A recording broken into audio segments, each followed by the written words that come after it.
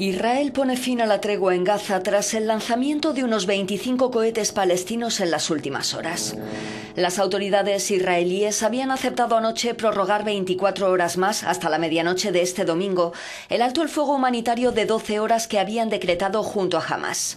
La extensión del alto el fuego fue, sin embargo, rechazada por el movimiento islamista Hamas que controla Gaza. Centenares de israelíes pedían ayer el fin de la ofensiva. La cifra de muertos palestinos en 20 días supera los 1.100, la mayoría civiles. Israel ha perdido a 42 soldados y 3 civiles.